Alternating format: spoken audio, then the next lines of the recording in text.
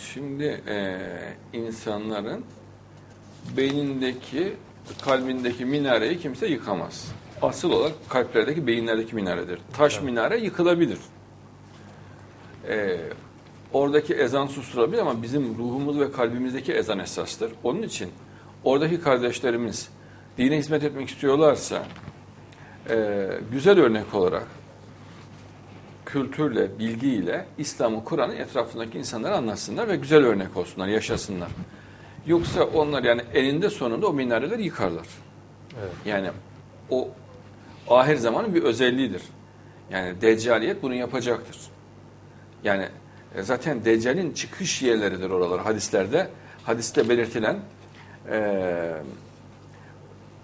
bu e, güneşin batması olayı, güneşin e, doğması olayının sabit kaldığı ülkeler olarak tarif ediliyor. Yani güneş sürekli havada kalan, kalan bir yer düşünün. İnşallah. O bölge değil mi öyle? Evet kuzey ülkeleri. evet. Kuzey ülkeleri. İşte Deccal'den çıkacağı yer orası, orası belirtilmiştir. Oralarda Darwinizm ve materyalizm dünyada en güçlü oralardadır. En yaygın oralardadır. Evet. Yani hep böyle sosyalist ve komünist düşünceler de hep oralarda yaygındır. En çok intiharlar oradadır.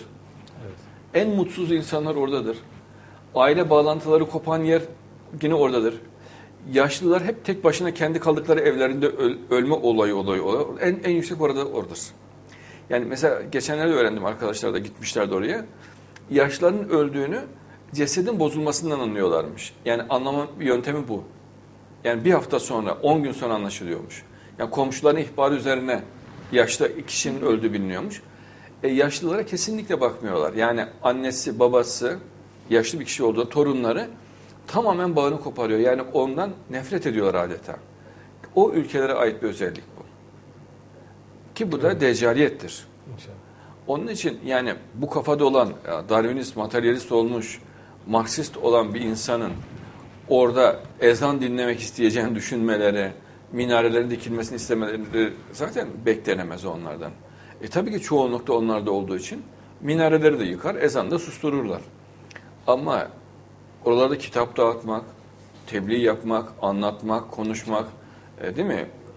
Örnek olmak özellikle yaşantısıyla, kalitesiyle, uslubuyla çok etkili olacaktır. E, deccaliyet oralardan sökülecektir ama fikirle, ilimle ve bilgiyle olacaktır. İnşallah. Fakat hadislerin tarif ettiği yerdir. Yani güneşin batmadığı yerler, İnşallah. Güneşin bir türlü doğmadığı yerler. Hadislerde bu bu şekilde belirtilmiştir. Yani var şimdi hadisler uzun uzun anlatmıyorum fakat özet olarak anlatıyorum. Deccal'in çıkacağı yer de orasıdır. Bütün Darwinist, materyalist ve masonik sisteminde kalesi oralardır.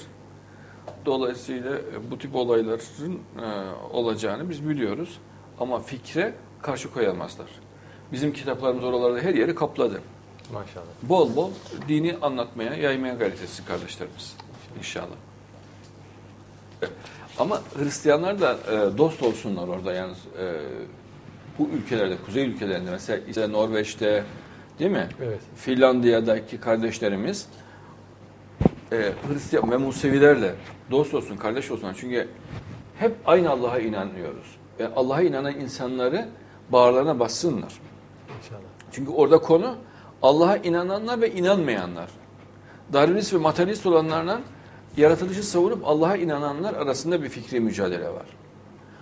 E, Onlar onların fikri müttefiki ve kardeşi. Onun için onları e, dışlamaları karşı tarafa yardımcı olmak demektir. Yani mesela hiçbir Musevi minarenin yıkılmasını istemez. Ezanın okunmasından da memnun olur. Evet. Yani ezan e, kesilsin diyemez bir Musevi. İster yani. İnşallah. Çünkü onun inancına uygun Allah'ın adı anılıyor. E, bir Hristiyan da yani e, cami yıkılsın demez. Ezan okun, okunmasın demez. Çünkü Allah'ın adı anılıyor. Hoşuna gider. Evet. İster böyle bir şey. Onun için doğal müttefiki ve kardeşi olduğu için onlardan da böyle yemekli sohbet toplantıları yapsınlar, onları kardeş bilsinler.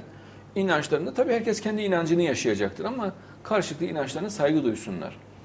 Ama böyle sanki yani dilim varmıyor ama düşmanca bir uslup tam anlamıyla deccaliyetin ekmeğine yağ sürmek demektir. Yani direkt onların oyunlarına girmek demektir. Sakın sakın Hele mezhep ayrılıkları yani tam bir rezalet. Yani Şii, Sünni ayrımı yapmak, Alevi, Bektaşi ayrımı yapmak. Ya bunlar zaten hepsi bizim kardeşimiz. Hepimiz aynı Allah'a inanıyoruz. Ne alakası var? Hepsi La ilahe illallah Muhammeden Resulullah diyorlar. Sakın sakın. Ee, Birlikte bereket var. Ayrılıkta fitne vardır. Ee, Birlikte hareket edecekler inşallah. İnşallah. İnşallah.